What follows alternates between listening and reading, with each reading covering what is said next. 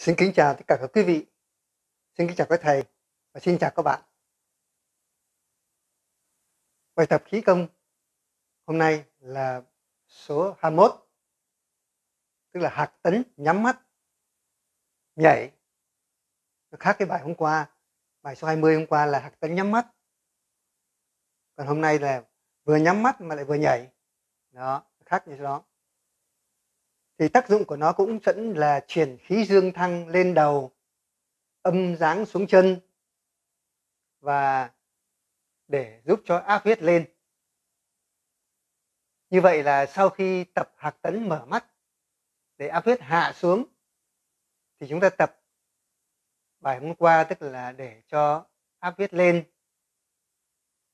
Nhưng mà nếu thấy tập như thế vẫn không lên không lên được thì chúng ta phải tập bài ngày hôm nay, tức là vừa hạc tấn nhắm mắt mà vừa nhảy.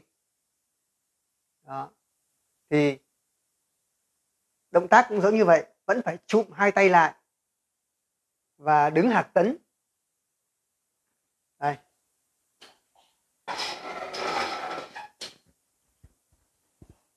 Chụm hai tay lại. Đó. giống như mặt con hạc giống như là mỏ con hạc đấy và chúng ta vẫn cứ là đứng hạc tấn như là giống như mở mắt. Cho vững đã, rồi mới nhắm mắt lại. Rồi cuốn lưỡi, ngậm miệng. Sau đó nhảy. One, two, three, four, five, six, seven. One, two, three, four, five, six, seven. One, two, three. One, two, three one two three four five six seven. Đó thì nhảy bên tay phải. Sau đó chúng ta chuyển sang là nhảy bên trái. Hoặc là nhảy bên trái trước rồi chuyển sang bên phải cũng được. Đó, đó. nhưng mà đến đến 30 thôi. Thế sau đó chúng ta đổi chân. Và cũng lại đứng cho vững.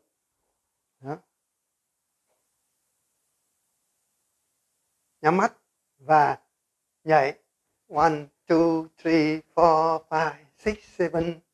One, two, three, four, five, six, seven. One, two, three.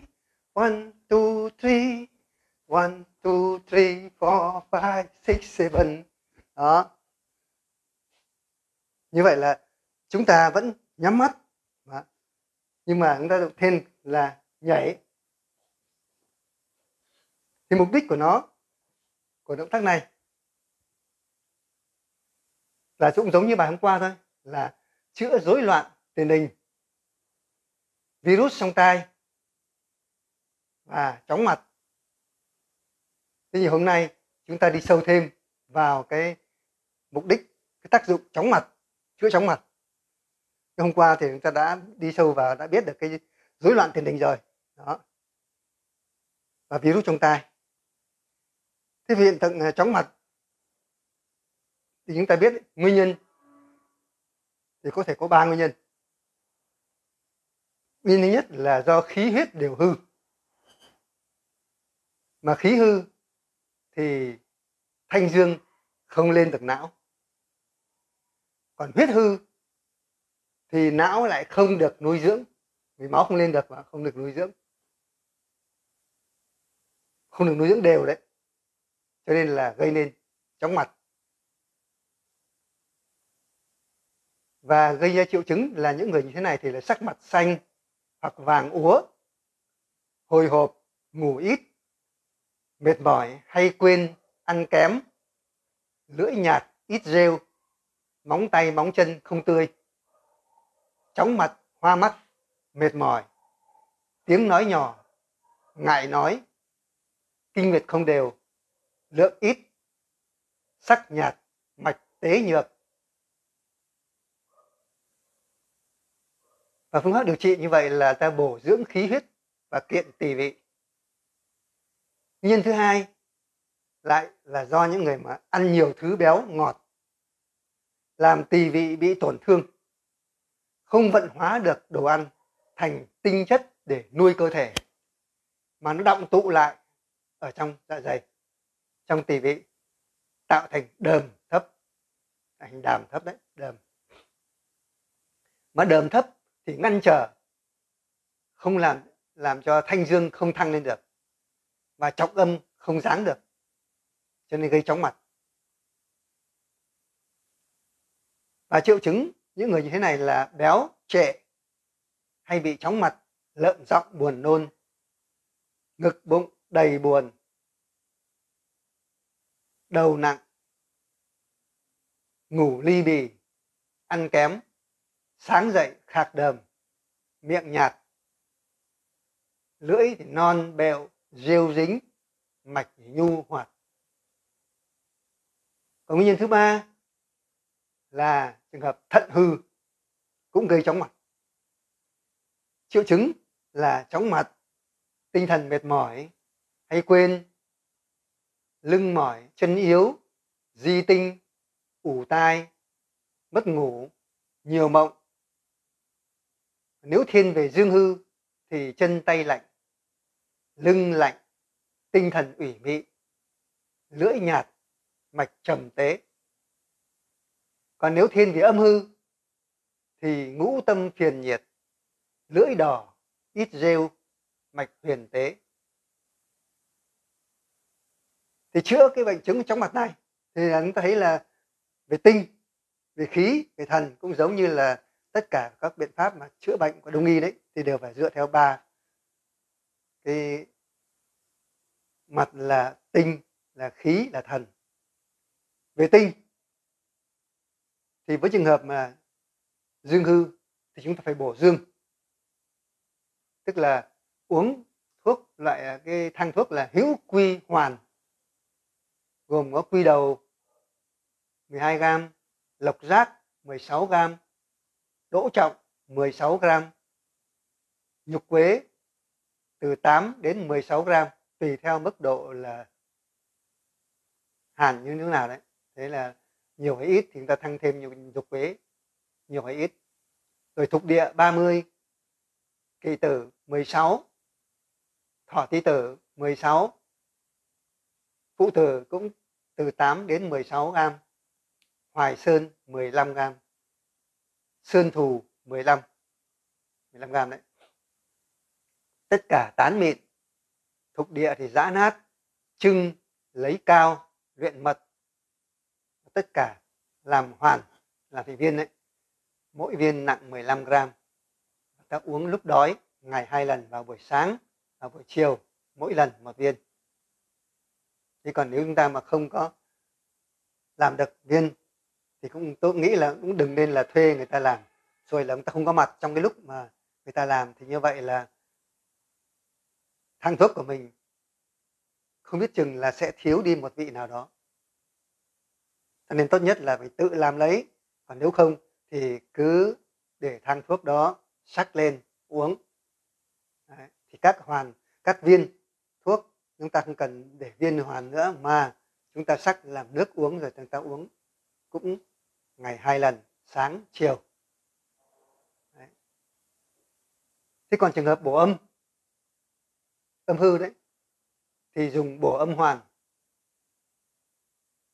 gồm đan bì 12 bạch linh 12 trạch tả 12 thục địa 32 sơn thù 16 hoài sơn 16 kỳ tử 12 cúc hoa 12 tức là 12 gram đấy, đơn vị là gram thì đấy là về tinh, thì là uống thuốc như thế. Về khí, thì chúng ta xoa sát vận động vùng đầu, lưng, mông và bụng dưới với những cái bài mà chúng tôi đã giới thiệu.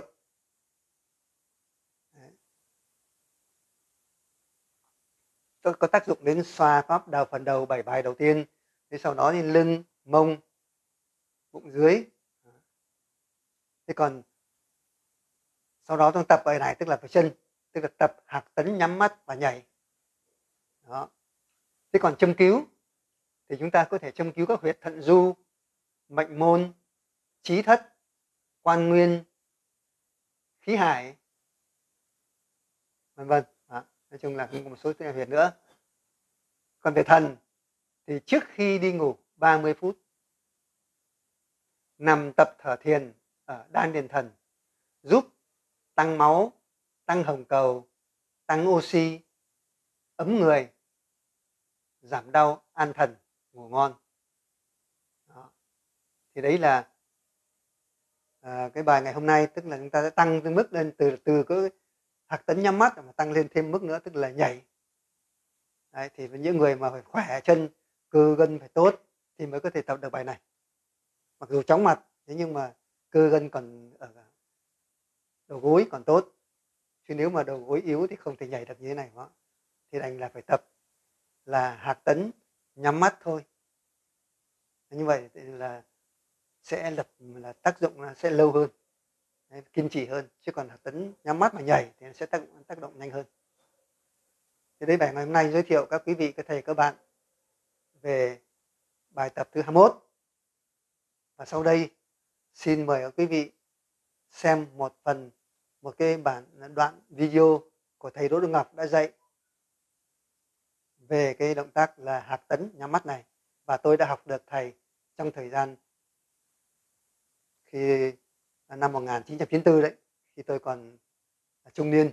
Đấy, thì được ờ, mẹ tôi là là cho tôi, được đoàn tụ gia đình sang Pháp và tôi được học tại thầy tôi được học ở bên Paris, ở Pháp. Nhưng sau cũng vì cũng vì là nghĩ thương vợ, thương con mà tôi phải quay về, chứ không ở bên Pháp với bố mẹ nữa. Thì đấy là cũng là cái hoàn cảnh của, quyết định của từng người mà cũng là do mình đã quyết định sai lầm, chứ đáng nhẽ cố gắng ở lại bên đó rồi sau đó khi mà đã có một kinh tế khá khá thì có thể là đoàn tụ với vợ con, tức là bảo lãnh cho vợ con sang được. Thế nhưng mà vì nghĩ thấy thấy lâu quá, thấy muốn nhanh thì nhân là muốn không nhanh được thì đành phải về. Thương vợ, thương con khổ mà phải về, quay về. Thì đấy cũng là một cái sai lầm của chúng tôi. Thế đây thì là, hôm nay thì xin chia sẻ một chút xíu thôi. Thế còn bây giờ thì là cũng may là được trời cho thì là cũng được khỏe mạnh. Gần 80 rồi, còn năm nay là 79 rồi. Đấy. và cũng là tôi vẫn cứ tập những cái bài của thầy Đỗ Đức Ngọc và đồng thời có nghiên cứu sâu thêm để có thể là chia sẻ, giúp đỡ được nhiều bệnh nhân hơn. Hàng ngày đến nhà tôi và tôi có hướng dẫn cho tập, rồi hướng dẫn châm cứu. Thế Xuân xin kính chào tất cả quý vị, các thầy, các bạn. Xin kính chúc các quý vị các thầy các bạn mạnh khỏe. Trường thọ. Xin tạm biệt.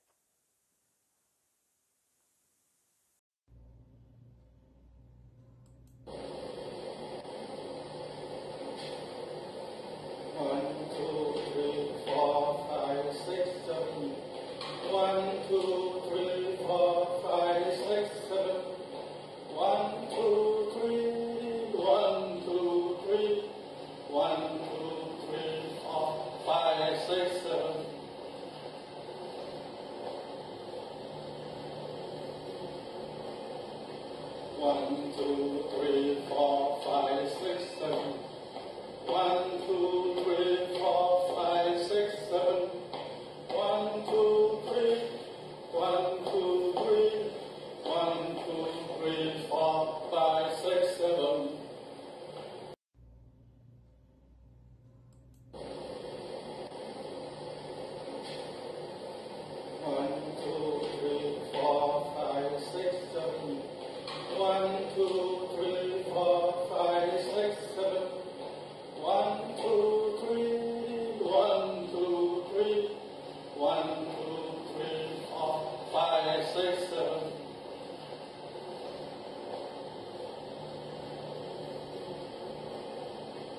One, two, three, four, five, six, seven.